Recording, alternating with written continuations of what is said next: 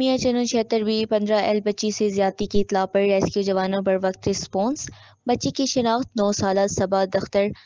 इफ्तार के नाम से हुई रेस्क्यू ग्यारह बाईस ने बच्ची को इब्तदाई तबी इमदाद के बाद सिविल अस्पताल मियाँ चनू मुंतकिल कर दिया रेस्क्यू ग्यारह बाईस